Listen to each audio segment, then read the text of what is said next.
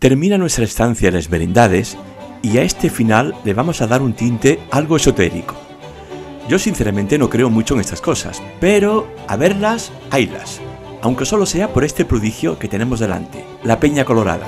Impresionante. Más que peña parece un barco que hubiera encallado en las aguas del río Jerea. Estamos en San Pantaleón de Losa, en su ermita que corona la peña, en la comarca de las Merindades, en Burgos. El lugar misterioso a más no poder. Desde el atlante que defiende la puerta, el rayo, las figuras dramáticas que adornan las arquivoltas.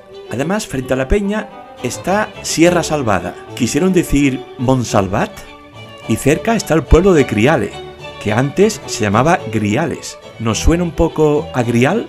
La sangre que se licua de San Pantaleón, tal vez la de Jesús que recogió José de Arimatea. Además, la cercana iglesia de Siones, al pie de la Sierra de Magdalena. Siones, ¿recuerda a Sion?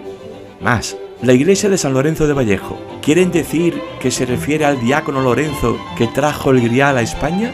Asimismo, el hecho de que todas esas iglesias de por aquí fueron donadas a la Orden de San Juan, Orden del Temple.